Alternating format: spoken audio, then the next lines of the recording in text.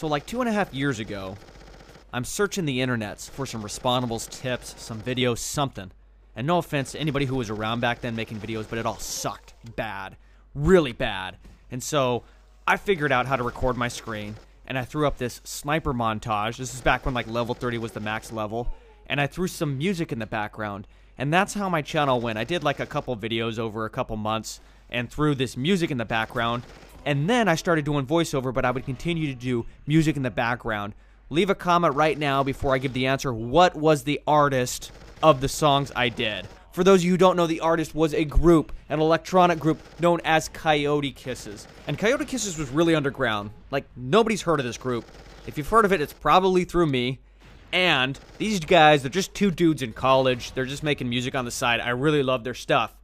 Why am I talking about Coyote Kisses? Because today we are reviewing the SMG, the submachine gun, the Howler, which is after the Coyote Kisses, Howler. Maybe that's a stretch, but I'm going with it because I wanted to tell the Coyote Kisses story. So, this is week four in the winter event. This is the final prize, the creme de la creme, the final prize of all the weeks. You guys have been grinding it out. And this is what we get. We get the SMG Howler. It looks really cool. I like the way it looks. It is just like the Stig. It, reminds me of the Stig, except it's way worse than the Stig. Uh, when I say it's just like the Stig, it just feels like the Stig.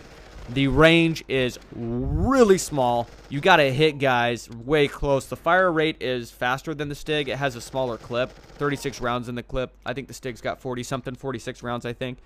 But really, this weapon, you got to be close to guys or you're going to get wrecked. It does not have long range. If you try to shoot guys long range, you're either not even going to be able to hit them or you're going to do hardly any damage at all. So it is a close range weapon in my opinion, and I think that's where it's going to be suited best. With this weapon, you're going to get wrecked by all the overpowered stuff. This is not an overpowered weapon. It's very balanced, so you got to make sure you strafe. That's the only way you're going to stand a chance. Versus all you aristocrat and battle ram noobs who think you're pro, but you suck. I'm calling all you out. If that's the only weapon you use, get a life. Now, this event was really hard, man. I, like, I raged. Like, I seriously raged on this event trying to beat this thing. It is hard because everybody is tryharding, and it's just frustrating. But this is the prize. I think a lot of you already have the weapon. You can decide after watching this video if the event is worth your time. If you're stuck, I don't know. If you already have the Stig, I would just stick with the Stig. If you have the Stig, you don't really need this thing. Um, but the weapon, like I said, it, it is a balanced weapon. It's a good weapon. It's a, it's an all-around balanced weapon. So all we need now is we need to nerf a few weapons out there, which I don't want to go through the list. And this game would be completely balanced. So that's going to be my review, guys. If you're here for the review and the voiceover, if you just want to watch the gameplay, keep watching. But I just got to go on a complete tangent right now. Um, I put a video up last week and it's now been privated. You guys can't see it, and I'm not going to make it public again. But it got uh, 14,000 views in less than 24 hours. And it was about how my channel almost got shut down. And I was really pissed.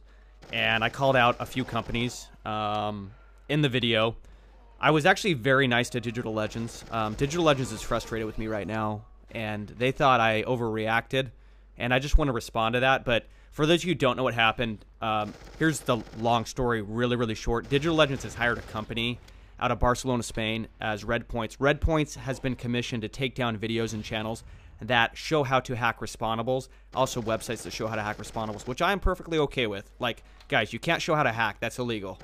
And yes, if you show hacked videos, your videos will be taken down. Here's the problem. Red Points was taking down multiple videos that don't show hacks. They're not even watching the videos they're taking down.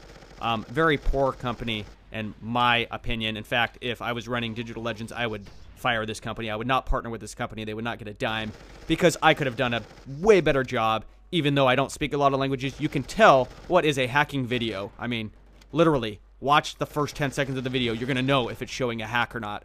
Anyways, so I had multiple copyright strikes because they had strike a couple videos on my channel and taken them down, and one more, my channel would have been deleted permanently. And I don't apologize for the way I acted. I did not say anything bad about Digital Legends, but I did say stuff bad about Red Points, and I stand by those comments. Red Points requested I remove everything. They were very pissed at me because I lamb blasted these guys. They came into the office Monday, and all they saw was a bunch of negative posts all over the place with hundreds of likes, retweets, everything. Like I lamb blast these guys, and I stand by that. They're not they're not a good company. Digital Legends is a good company. Um, I did not say anything bad in the video about Digital Legends, but they're frustrated with me, and that's understandable. I, you can see where I'm coming from. I was backed into a corner. I had nowhere to go. I'm about to lose my channel because some companies putting fraudulent claims on my videos, and I reacted the only way I knew how by making a lot of noise so it would get noticed, so the problem could get fixed, which it was, and I'm happy it's fixed. Glad to be back, guys. We'll see you guys in the next video.